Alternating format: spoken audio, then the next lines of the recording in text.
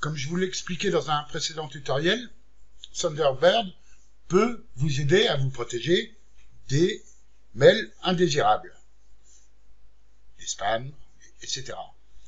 Maintenant, il y en a certains qui qui sont pas considérés comme indésirables par Thunderbird euh, pour euh, diverses raisons. Il va falloir apprendre à Thunderbird à reconnaître les indésirables que nous, on a décidé de notre côté qu'ils le sont. Je prends comme exemple, ici, je me suis envoyé un test de message frauduleux, lequel apparaît normal. Jusque-là, il n'y a pas de problème. Maintenant, en imaginant que l'adresse ici que j'ai administration@informaticsclub.fr me dérange, je veux plus de ces mails-là. Pour moi, ce sont des mails indésirables. À vous de voir euh, la provenance. Il faut bien faire attention de toute façon quand vous lisez les mails, et je le répète, regardez bien le correspondant qui vous envoie l'email, de façon à vous protéger. Une fois que vous avez identifié ce correspondant comme indésirable, on va apprendre à Thunderbird à mettre les, les indésirables pardon, là où on le souhaite. Alors, pour ce faire, il va falloir, c'est un apprentissage, c'est votre apprenti. Thunderbird, c'est vous qui décidez, et Thunderbird est l'apprenti. Il va falloir donc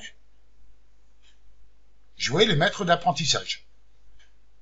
Vous allez dans Outils, ici. Alors, si vous voulez le menu ici, il faudra faire un clic droit et cocher barre de menu. Sinon, vous le retrouverez ici, à droite, avec les trois, petits traits.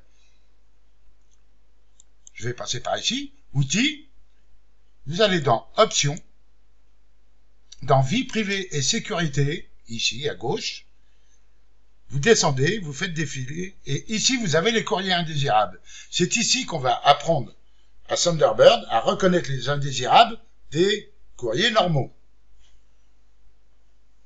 Maintenant, c'est vous qui décidez de ce que vous voulez faire. Vous cochez la case quand je marque des messages comme indésirables. Vous avez le choix entre les déplacer dans le dossier indésirable au cas où vous vous seriez trompé. Par exemple, vous pourriez toujours les ramener euh, dans votre courrier entrant, votre boîte de réception, ou bien de les supprimer directement. C'est-à-dire, ils n'auront même pas le temps de s'afficher, qu'ils seront supprimés directement on va choisir, dans notre exemple, de les déplacer dans le dossier indésirable.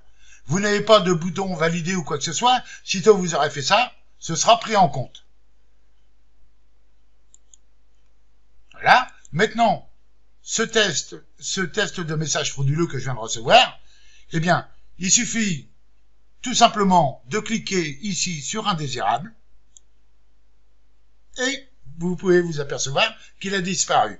Il est maintenant dans ma quarantaine, ici. Alors, quarantaine, c'est indésirable, hein, c'est la même chose, et il se retrouve ici. Alors, bien sûr, vous pouvez le décider de le remettre dans votre courrier entrant ou de le supprimer directement. C'est comme vous voulez. Pour supprimer votre quarantaine, un clic droit tout simplement dessus et vider le dossier des indésirables, ici. Voilà.